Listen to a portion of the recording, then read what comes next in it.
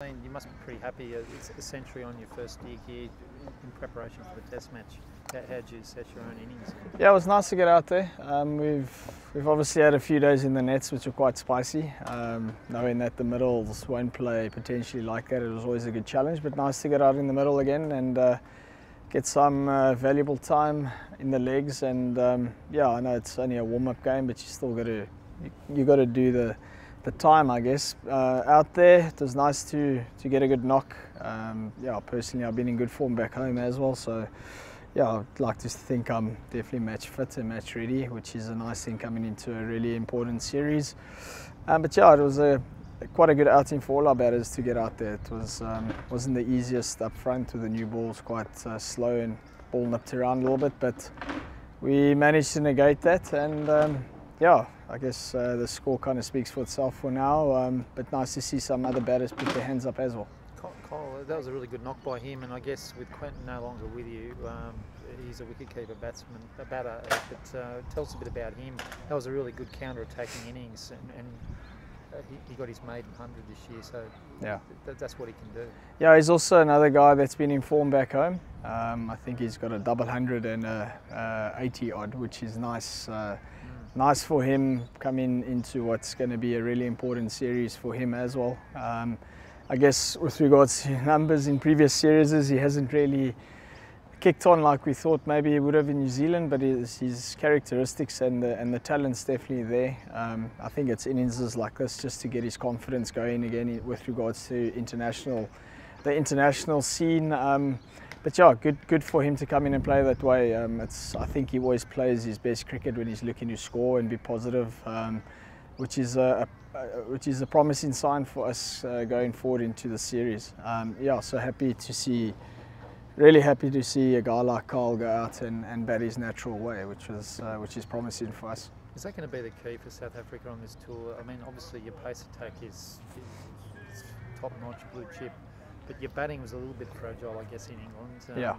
What's the key for, for you when it, when it comes to your batting order? You, yeah. You, you want runs, don't you, really? No doubt. I, I think especially playing in Australia, um, the England series, I think we're outskilled in really tough batting conditions as well, so people need to be mindful about that as well. It's easy to jump to conclusions. Yeah, yeah. Um, but yeah, in Australia, you need runs on the board. Um, it's, a, it's a really good contest between bat and ball. Um, you apply yourself with a bat and you're going to score runs, you bowl well put the ball in the right areas and ask the right questions, you're going to get rewards with regards to that as well. So, yeah, but runs on the board is vitally important uh, in Oz. But um, we need to give our bowlers the best chance to take 20 wickets, and we need to score runs, and that gives them time. That buys them time in the game to to go and out to go out and try and get those 20 wickets for us to to give us the best chance of winning. Um, but yeah, runs are runs are vitally important in, in, in Test cricket, and uh, yeah, we haven't been up to scratch of late. Uh, I haven't shied away from those combos.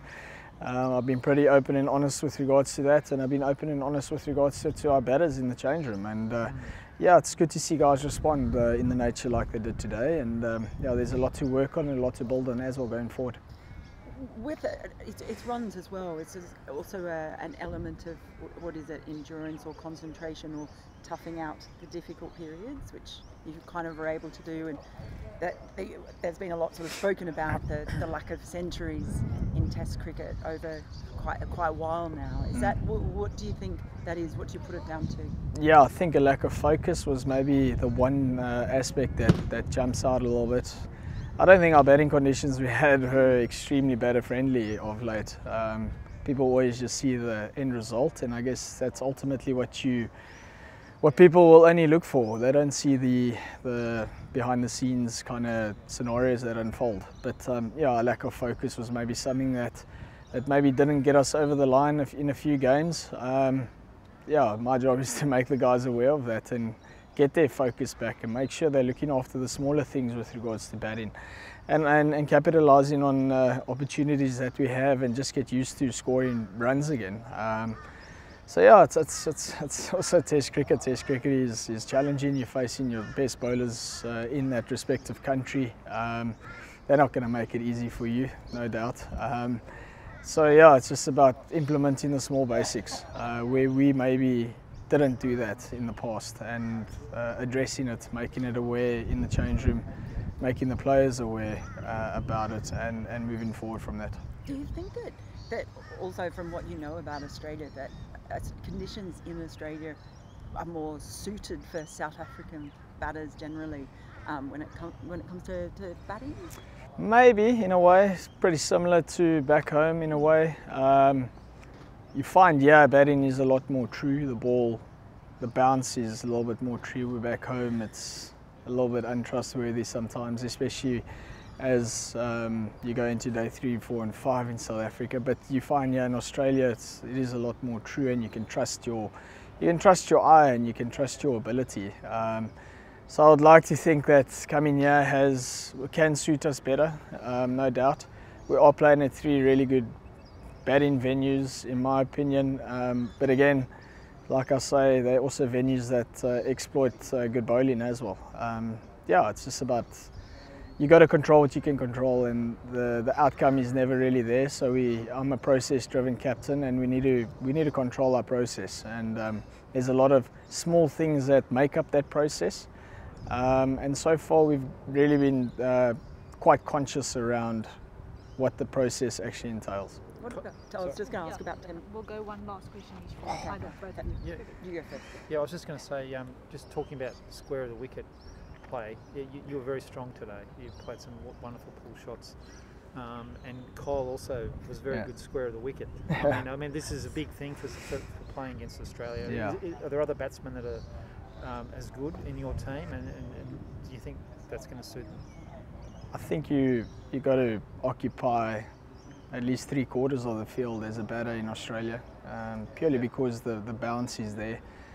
Um, you also got to score pretty well down the ground, and that maybe forces the bowler to bowl that you can play square of the wicket. Um, but yeah, all our batters are equipped for that, no doubt. Um, yeah, um, I've, I've, I've no doubt with regards to their skill um, and them implementing their skill. It's just about getting that result and being patient around that result. Um, so yeah, hopefully we do a lot of good things come uh, Test Cricket Day, and um, those kind of things play into our hands. But um, again, our process, we we got to go out there and earn our process. Um, it's not just going to happen. We're up against uh, four bloody good fast bowlers and a and an equally brilliant spinner, um, which is what kind of Test cricket is about. You know, you know, you want to play against the toughest, but you've got to also go out and earn what your team needs you to do. And uh, yeah, that's that's basically the message that our batters have been uh, have been given um, coming here to Australia, and